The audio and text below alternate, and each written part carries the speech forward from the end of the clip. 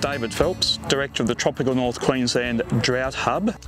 One of the key elements for agriculture, particularly for for grazing systems, whether that be, be dairy, beef, sheep, goats, is that the productivity and the health of the soil and the land and the pastures underpins all of your productivity. If we can achieve healthy soils through the SoilKee approach or through any other approaches, that's going to improve the productivity, which will also improve the resilience for the long term. Hi, I'm Niels Olsen from SoilKee. We build the SoilKee Renovator, which is here behind me, and this is the first one that's come up into North Queensland.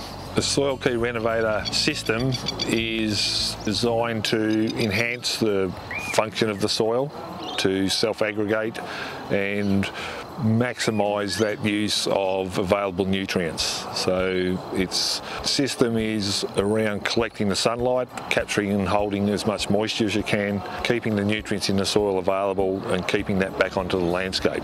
And in doing so, you're rapidly building carbon at the same time and increasing production of the fodder that you're growing. So as the blades curve off on the machine, they'll lift the side. So each side will get lifted about a 25, 30 mil and then in between it's totally undisturbed.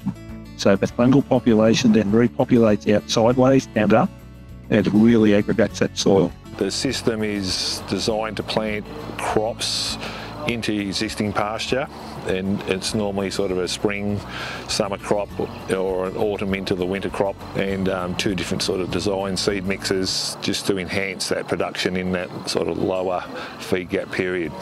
The main factors for performance are generally sunlight and, and moisture. Um, we're around 1200 mils back in Gippsland in Victoria and you've got four metres up here so we're not going to be restricted by moisture, plenty of sunlight, fantastic soil so we're expecting you know, like a possibility of double what we're achieving up here. So I'm Silas um, and I work with the Holistic Management Co-op as an EOV monitor and we are monitoring uh, Glenview Dairy here to create a baseline for our ecological outcomes verification monitoring. And basically what we're doing is we look at different indicators across the property that indicate how healthy it is, and they look at leading indicators of ecological health. It's got a fair bit of activity. That dung's seven to 10 days old. I'm not concerned about decomposition here whatsoever. Because it's that quick. The forecast for Maureen today? There he is. You found him. One little Go. fella, one little fella. Oh, put him on the palm of your hand, maybe you'll see him a bit better. It's a dung beetle. And based on those results, if the, the scores increase off based on the baseline, then this property is eligible for land to market verification, which is a marketing opportunity for farmers to uh, sell their product under the claim that they're regenerating their land. Soil management in the next decade will really focus on the natural systems and looking after that because the natural equity, the banks are looking at assisting us because of that nat natural equity approach. If you're looking after that, your sustainability is long term and you're more resilient to the tougher times. So you're reducing your inputs, which then gives you more profit back in the farmer's pocket. So that, that's the, the main reason for having the system out there is to assist that whole agricultural production to increase the profit back to the farmer. Seed on down this chute, what it's like when wind has gone over it once, the seeds are in these burrows here, they are planted in. And you scratch the dirt off of there and it's un untouched. So that grass can come up through that dirt. We're standing in paddock 5A. It was planted on the 5th of June, um, the day before the field day, and which was 10 weeks ago.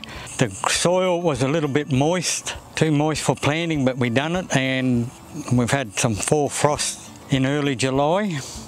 But yeah, the results are looking good now. These ones here are oats, just starting to seed. This is your triticale.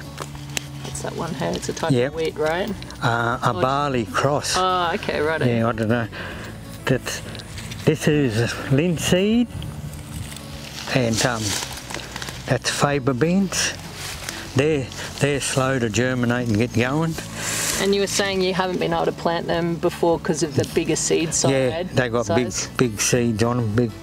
But the SoilKee renovator's been able to handle from it hand- tiny seeds up to. Yeah, it handles anything. That's your field pea. Plenty of field peas here.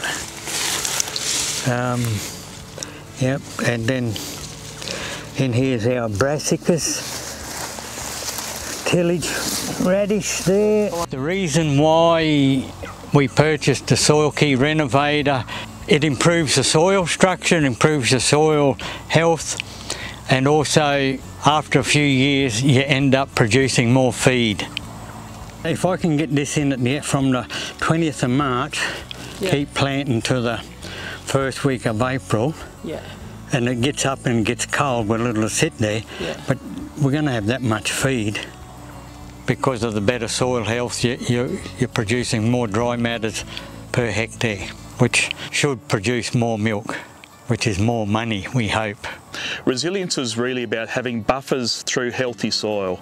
It's about having buffers through um, healthy landscapes and good land condition, and it's about having buffers through efficient and highly productive pastoral and agricultural systems.